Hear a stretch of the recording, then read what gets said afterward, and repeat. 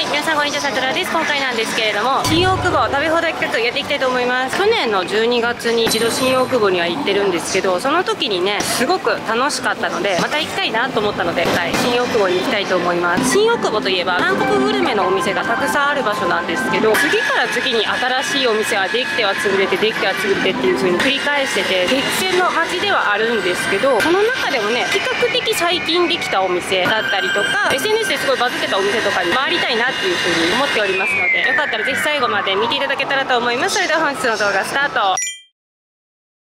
新大久保食べ放題企画って言いながら今新宿駅にいるんですけど一番最初の店がですね新宿駅と新大久保駅のちょうど間ぐらいなんですよね。なんで新宿駅から行った方がいいかなと思ったので今新宿駅の東口にいますけれども今からお店の方に向かいたいと思います。可愛すぎるんだけどこの猫。ねえ新宿駅の東口のモニターのとこにいるんですけど猫可愛すぎる。はいここが新宿歌舞伎町の東宝シネマの映画館ですね。おめっちゃ高いじゃないですか。そうめっちゃ高さもあって。新宿駅から新大久保駅に行こうと思ったら歌舞伎町突き抜けていかないといけないので今回は歌舞伎町突き抜けていきますけど治安悪いから来ないんだけどさやばい人絶対見かけるもんね。この際すごく言いたいことがある。歌舞伎町といえばホストがいますけれども私がホスト通いしてるとかめっちゃホストに入れ込んで金使いまくってるみたいな感じでたまに言ってる人がいるんですけど神に誓って言えるんですけどホスト行ったことないからね。誰って言い出したなと思う。とりあえずなんかそういう風に言いたい風潮でもあると。あえてこの際言わせてもらうけどマジでホスト行ったことないから。はいそんなことを話してたらお店の近くに着いたんですけどまさかのまさかで雨降ってきた。嘘もう。日傘持ってきてよかった。カメラがね濡れると大変だからちょっと顔が近くてすいません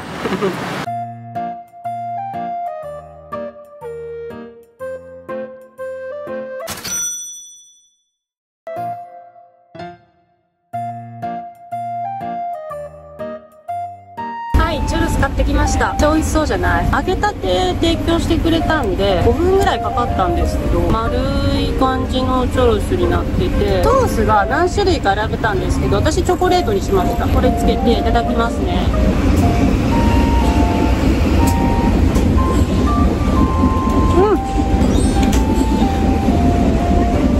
揚げたてだから、外カリカリで中がしっとりしてて美味しい。チョロスはサイズがね3サイズありました。私今1人なんで一番小さいサイズ選びました。これねオープンしたての頃結構 SNS で酷評されてて悪い意味でバズっちゃってたみたいなお店なんですよね。うんその後すぐ改善されたみたいな。感じなんですけど普通に美味しいと思うよ。ディープインスペースとかはないですね。普通に私店先の屋根下で食べてます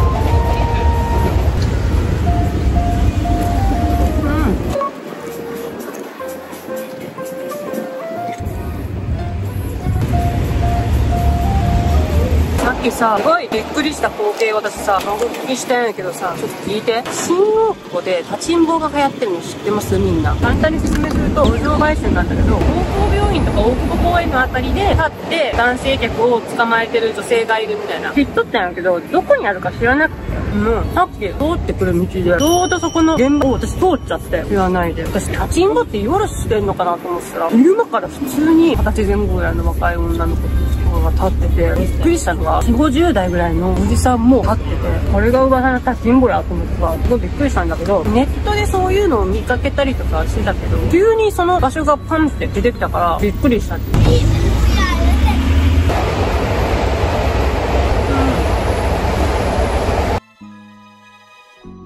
次のとこに向かいます。で、次のところがね、韓国ドーナツのお店です。結構有名なところなので、知ってる人知ってるって感じかな。そんなお店に向かいたいと思います。はい、こちらですね。ハロードーナツってお店に行きます。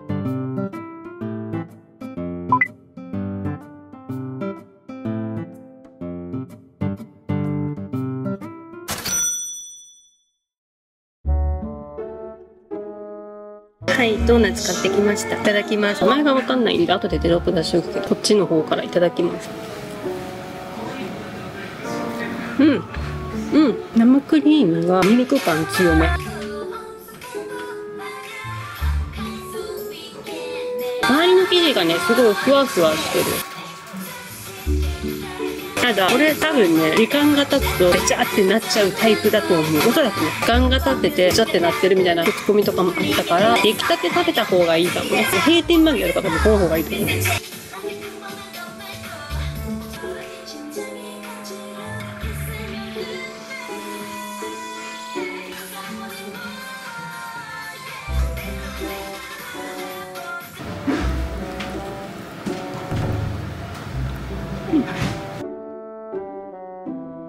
続いてのお店に向かいます。続いてがね、フィナンシェのお店かな。私結構フィナンシェ好きなんですよ。だからちょっと行きたいなと思います。今、新大久保のメイン通り歩いてるんですけど、今日そこまで人多くないかも。9月のね、末なんだけど、撮影してるのが。こんなに人いない若い子、学校だから若者がいないでしょ、あんまり。観光客めっちゃいるかって、そうでもない。平日だからね。さっきね、チュロスお店いた時に多分中国人だと思うんだけど「新大久保どこですか?」って聞かれたから海外の人にも人気だよね新大久保は。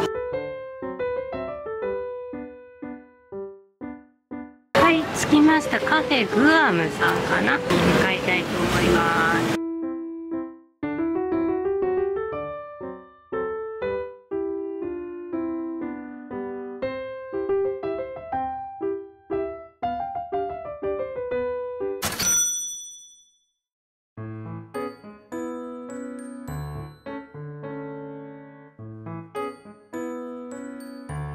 はい買ってきました。フィナンシェのセットがあるって聞いてたんですよね。事前情報だと。さっき店員さんに聞いたらセットがなくなったって言われてそのバラ売りしかなくてプレーンとワンちゃんの可愛いやつがあったんでそれにしました。プレーンから。柔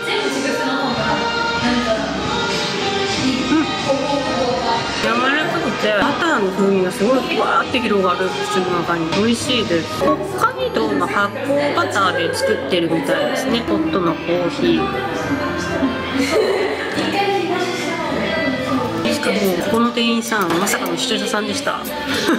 店入る前に看板の映像を撮るんだけどこの時点で店員さんがこそこそ喋ってるのが見えててあやべえ YouTuber 来たぐらいに思われとんかなって思いながら入ったんよね。だから TikTok の方ですかって言われて びっくりした。初めて TikTok の方ですかって聞かれた。大体なんか YouTuber ですかって聞かれること多いけど。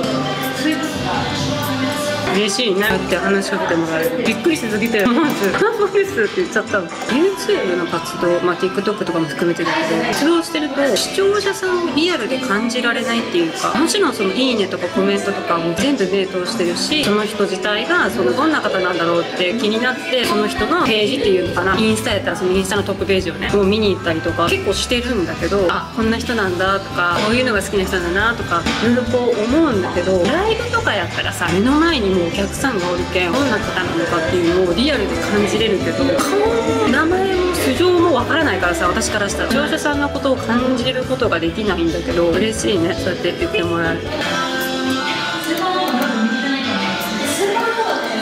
店員さん面白かったのがさ TikTok で「おすすめで流れてきました」ってもうすごいストレートに言われて「何の動画流れてきましたか?」って聞いたら「あーちょっと覚えてないんですけどえー」とかってとか言ってて。そこ覚えてなんのかいとか思うのがすごい素直な方やなと思ったけど。もう一個のワンちゃんみたいなやつの方なんですけどこれがねフィナンシェ自体はちょっと硬いんだけど中にね何が入ってるとかなこれ中にね結構チョコレートが入ってますねチョコ好きな人はいいんじゃないのかなこれ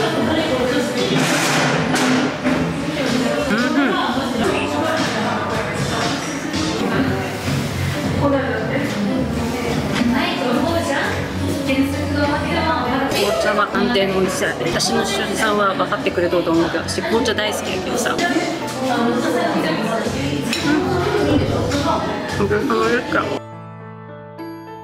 はい次のところへ向かいます。次がね韓国カフェっぽい感じのお店かなに向かいたいと思います。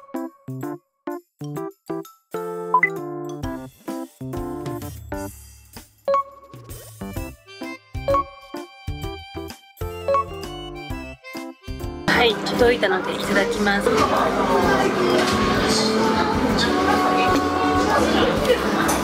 ー美味しいレモンの炭酸が最近なんか好きなようです今年の夏結構飲んでる。飲んでる飲んでた。クロッフルの方からいただきますね。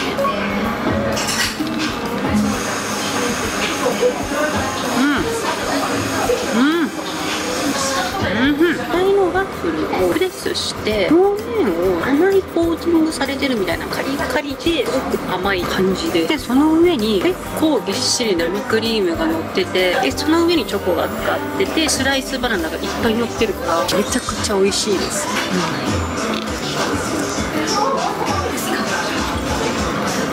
うん。私チョコバナナ選ん。だん。ですけどこれ以外にもいろいろ種類がありましたね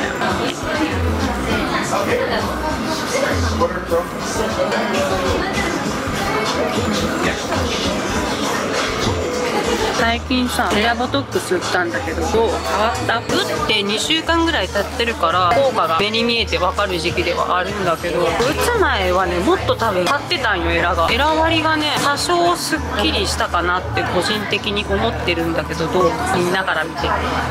何よりも嬉しいのがめっちゃ歯ぎしりしてる。寝起き顎が痛いっていうか顎が疲れてるっていう音がなくなったのがめっちゃ嬉しい。ストレス溜まった時とかも無意識に歯を食いしばっててそれでさなんかイライラしてる時に顎痛いみたいなことがたびたびあったんだけどそれもなくなった。こだけね。見た目的にもすっきりしたし顎痛いのがなくなったのが個人的には嬉しい。ちょっと前の動画でさ私の施術やってくれてる先生が辞めちゃったみたいな話してたっていう別の先生探してやってもらったんだよ。今まで男性の先生だったから女性がいいかなと思って女性って女性に対して厳しいじゃん。だからあえて女性の先生選んだ方がいいのかなと思って。担当してくれた先生がね過去の症例写真とかも見たんだけど私が好きな感じの仕上がりが結構多かったからこの先生がいいかなと思って女性の先生を指名して行ったんだけどビビるぐらい綺麗な人でリアルで出会った人で過去一美人だったもうすごくてお肌がツヤンツヤンなの。光り輝いてるみたいな感じで腹とかも全然なくて本当にお美しくて学歴とか職歴とか書いてるじゃん先生だって。見る感じだと多分私とあんま年変わらんくらいだとは思うんだけど同世代でこんな綺麗な人いると思って。びっくりして思わずさ先生の顔じーってずっと見ちゃってた私。見とれちゃって先生に。したら先生が「どうされました?」って言われて。あすいません。何でもないです。って言ってめっちゃ綺麗な先生見つけちゃったと思って。これからねその先生にお世話になろうと思って。次ハンプやろうかなと思う。と小顔になりたいんですけど私どうしたらいいですか？って先生に聞いたら。イトリストやってくださいって言われて。やっぱりイトリストなんだと思って。あんまやりたくないんですよね？みたいな感じで。ハイフはダメですか？って聞いたら私の場合ハイフやらない方がいいって言われて。これねコメント欄でも同じこと言ってくれとった人いないんだけど。知ってここが出てるじゃないですか。でここが出てるじゃないですか。そうだからどうしてもここの肉が落ちやすいんですよね。だからタイプをやってしまうとこのコケが目立つからやらない方がいい。やったとしても顔下だったらまあいいかなって。ここをすっきりさせるためにやってもいいけどタイプはやらない方がいいかなっていう先生言ってて。でイトリットも前回の先生ここから入れてくれてたんよここから入れて全体的にバーって上げる感じにしてたんよね。でそれをするとどうしてもここのコケが目立つからこのエラから入れてこう上にグッて上げるとこのフェイスラインがシュッて上がってここのベラも目立ちにくく見えるからそうするのが一番いいですよって言われてあ確かにと思ってすごいなんか納得してしまってタイプじゃなくて糸やろうかなと思って。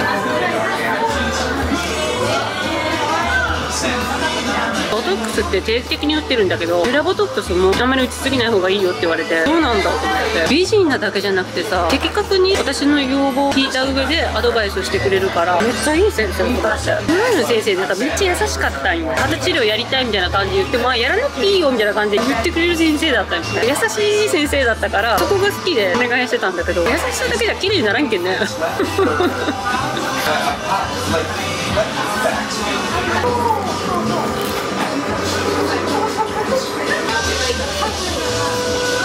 チーズケーキいただきますね。うん。すごいチーズがふわふわでチーズの風味強めかも。チーズケーキっていう感じ。ちょっと主張強め。うん、1個言っていい？結構お腹いっぱいやね。そして甘いもの食べ過ぎやね今回。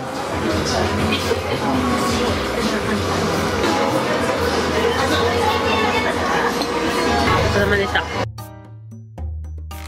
ょっと読めないんですけどひよパン生地のたい焼きに中にあんこが詰まってるみたいな感じの商品が有名なお店ですね。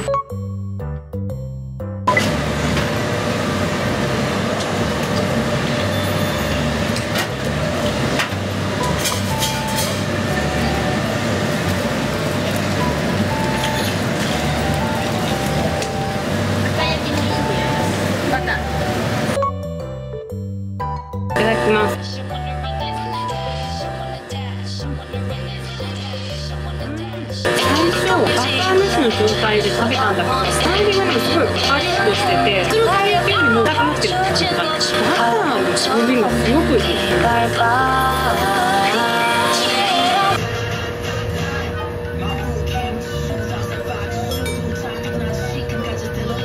これにバターをかけるから風味がった結構やばいですね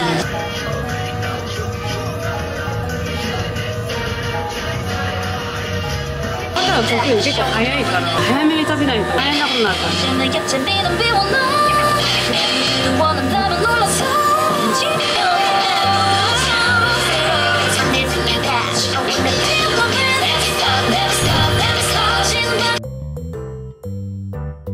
新大久保離れて新宿の方まで戻ってきました。どれが美味しかったかなって考えたんですけど地味にね一番最初にチョロスが一番美味しかった気がする。出来たてで熱々だったのでっていうのもあると思うけど全体的に美味しかったかな。また新大久保機会があったら行きたいと思います。今後もねいろいろ東京グルメだったりあと遠方にね旅行行ったりとかして動画撮ってますのでよかったら次回の動画も楽しみにしていただけたらと思います。この動画がいいなって思った方ぜひチャンネル登録高評価コメントよろしくお願いします。ありがとうございました。あの歌舞伎町の中突き抜けてきたんですけど怖かった。